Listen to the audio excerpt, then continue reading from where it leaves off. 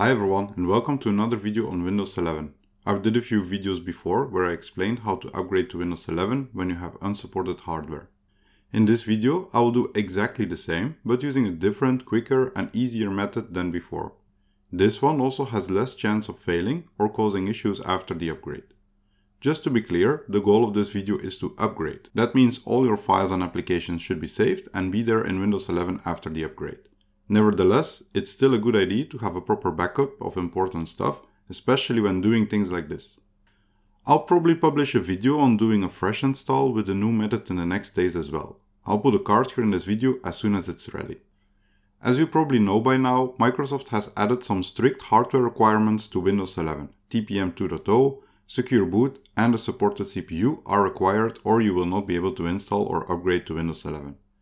This means that a lot of people find that they are not able to update to Windows 11 even though they have recent and performant hardware.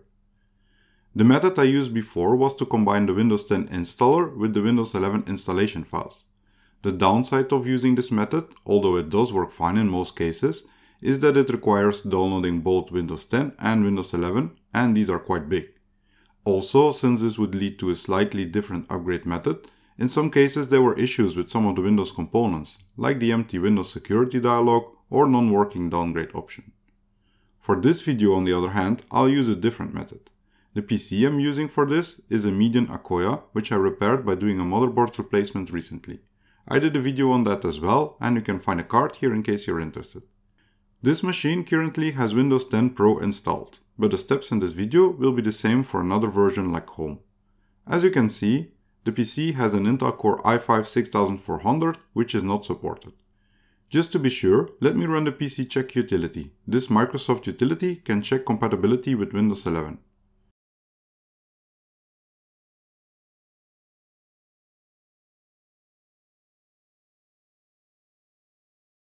We can see here indeed that our CPU is not supported and also TPM is disabled. In case we would try to run the upgrade without any modifications, we would see the following. To get around that, let's start the process by downloading the Windows 11 ISO from Microsoft's website.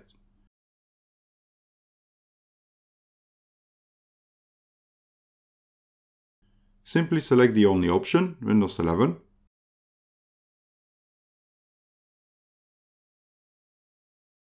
choose the desired language Important here is that this has to match with the currently installed version. If you're not sure or run into issues later, you can use the media creation tool instead. This one will automatically select the recommended language version.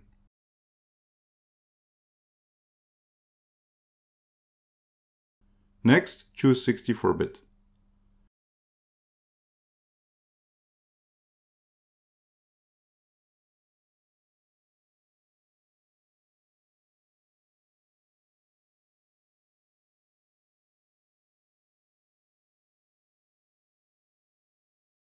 Once the ISO is downloaded, navigate to your Downloads folder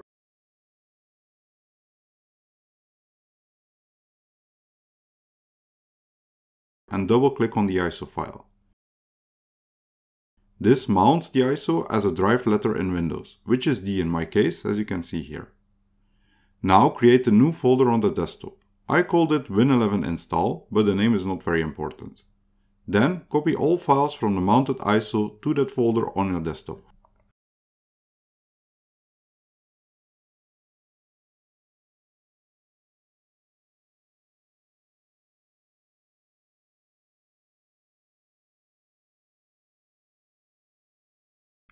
The copy is complete and since all we need is on the desktop, we can now unmount the ISO by doing a right click on the drive and choose eject.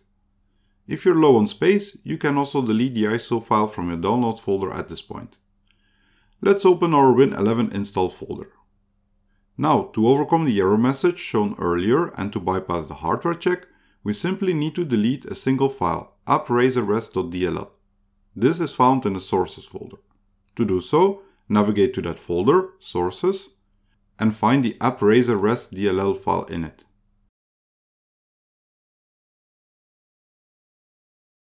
Then delete it. That's really all it takes to disable the hardware check in the installer. Let's test to see if that worked now. To do so, I'll go back to the previous folder and run setup.exe in order to upgrade this PC's Windows 10 to Windows 11. In the first step here, click Change how setup downloads updates and choose Not right now.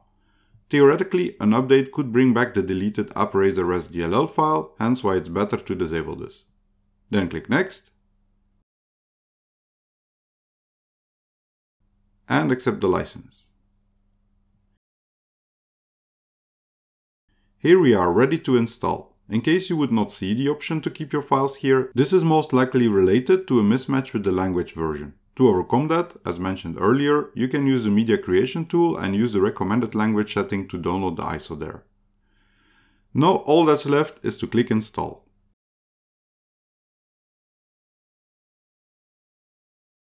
As soon as you click that install button, the process starts and you can go and get yourself a coffee.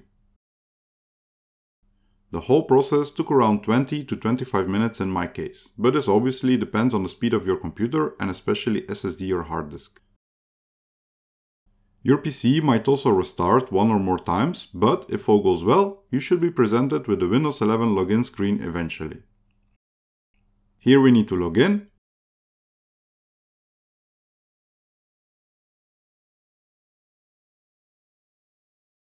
and after that the setup process continues for a bit more.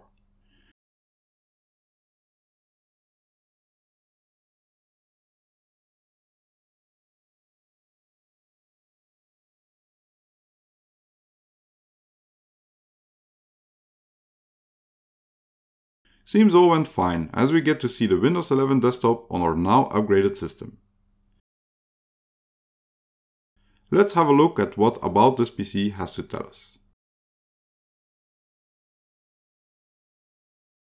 This shows us the same unsupported hardware, but now on Windows 11.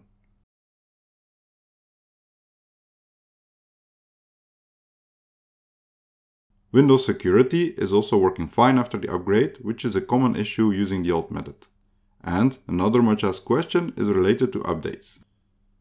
I've been running Windows 11 for a while now, and so far updates have been coming in exactly the same as on supported hardware. Let's get them all installed here to show you that this is working and also to make sure our system is up to date.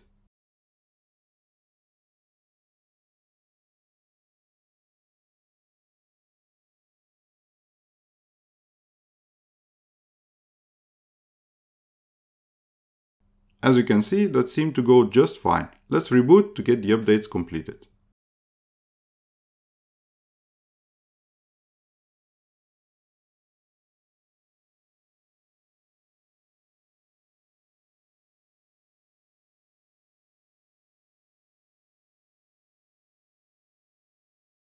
Now that we are back, About This PC shows, as we would expect, that we are indeed on a newer version, so updates are definitely working.